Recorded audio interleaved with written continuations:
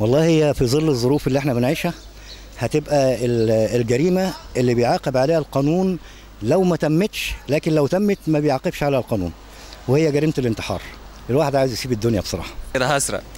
بس مش هسرق كده سرقة عادية. يعني أنا ممكن أسرق مثلا الناس اللي هي اللي واكلة البلد الناس اللي هي الكبيرة بقى والكلام ده اللي هم بقى قاضيين على الغلابة في البلد وبعد كده أروح مدي الفلوس للغلابه القتل.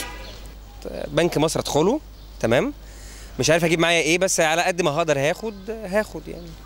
أي حد يأذي مامتي. أولع في البلد اللي أنا فيها. هقتل السيسي. القتل. اسرع الرئيس. يعني هو بسم الله ما شاء الله يعني مرتاح يعني. قناة السويس يعني وحاجات كتير بسم الله ما شاء الله عليه يعني. فأي حاجة يعني. عشان ما فيهاش حد بيحكم بالعدل. كله بيظلم في كله. ما بقاش في قانون يعدل.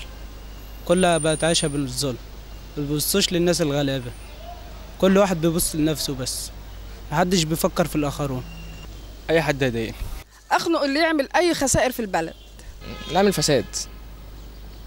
فساد يعني حبكت يعني ما فيش قانون خلاص. هعمل حاجات كتير ياه. حاجات كتير. أولها إن أنا هطلع بره مصر.